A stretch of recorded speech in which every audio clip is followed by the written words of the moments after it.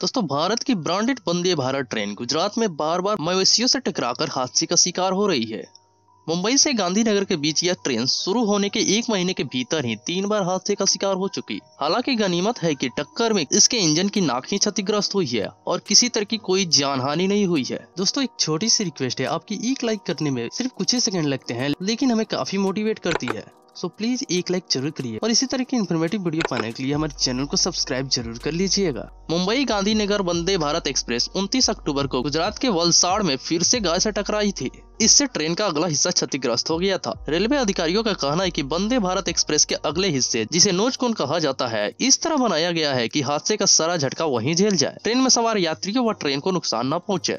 दरअसल वंदे भारत ही नहीं, बल्कि अन्य प्रीमियम ट्रेनों के अगले हिस्से की बनावट इसी तरह रखी जाती है। ये नोच कोन फाइबर प्लास्टिक का होता है और झटके या हादसे के वक्त इसी हिस्से को नुकसान पहुँचता है और ट्रेन के अन्य हिस्से बच जाते हैं।